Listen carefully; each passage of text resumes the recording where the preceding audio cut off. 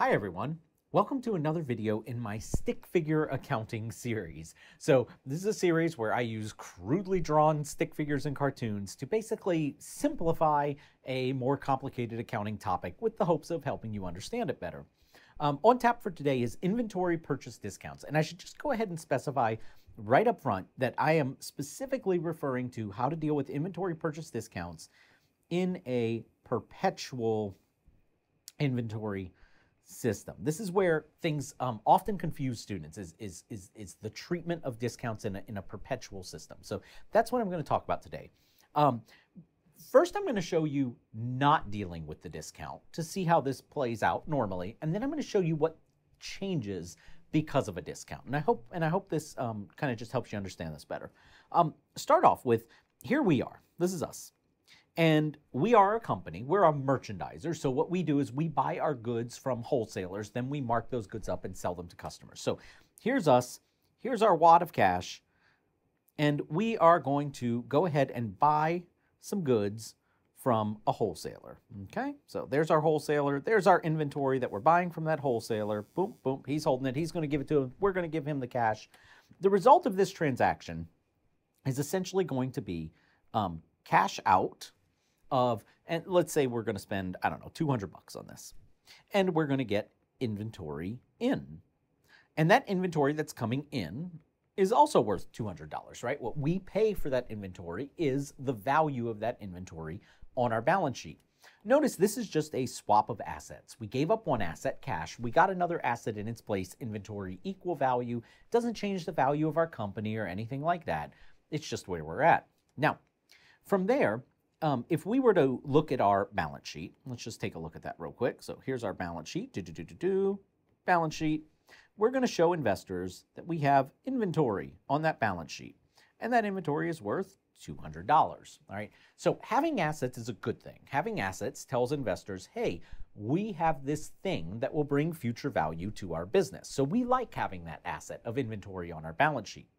But what we like even more is selling that inventory. So if we then proceed to the next step, um, here we are.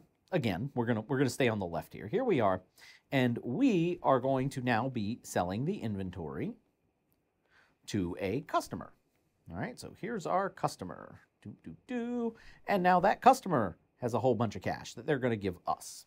Okay, now when this happens, it's it's something very interesting because we have cash coming this way, coming toward us Let's say we charge $500 for this inventory, okay? And we have inventory going out, right? Inventory going that way. And that inventory is only worth 200 bucks. Remember our balance sheet back here, right? $200 worth of inventory. So what we've done is we have marked up this inventory because as the merchandiser, that's what we do. We bring it in at one price, mark it up, sell it for a new price. This inventory of 200 that's going out that is that becomes the cost of goods sold on our income statement. So that's the cost of this merchandise right here that we have sold to this customer right here, right? So on our income statement at that point, so here I'm going to go income statement, income statement, we are going to show cost of goods sold, 200 bucks. But you see this cash that we brought in? Well, that's the price we charged the customer, 500.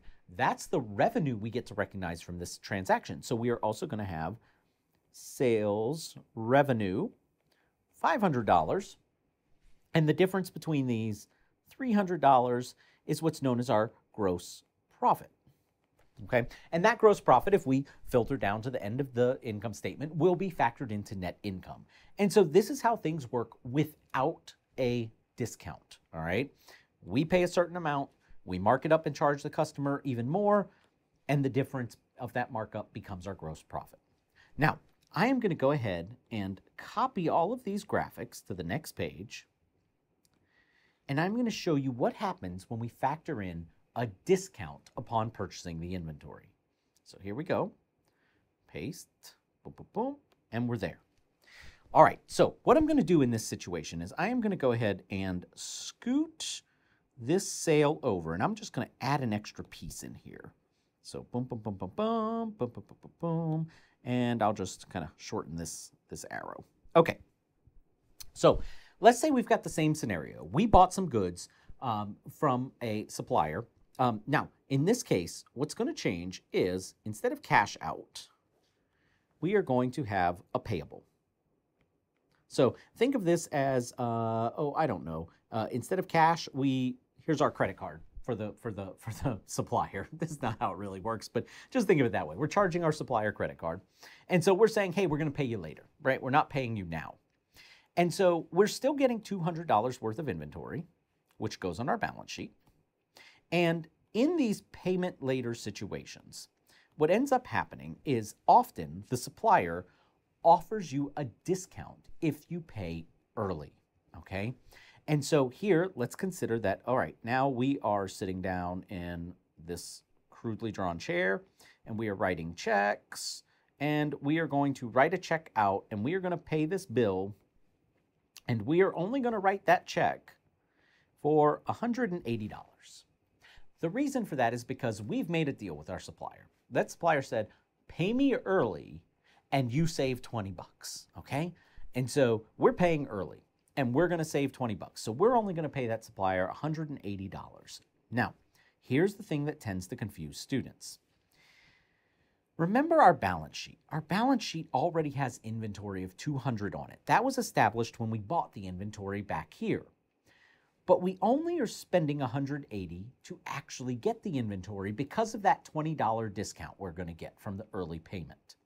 What that's going to end up doing is forcing us to credit our inventory account and to bring the balance of that inventory down to 180. Okay, so as a result of this savings, and I'm just going to go ahead and bring up my red pen here, make a note.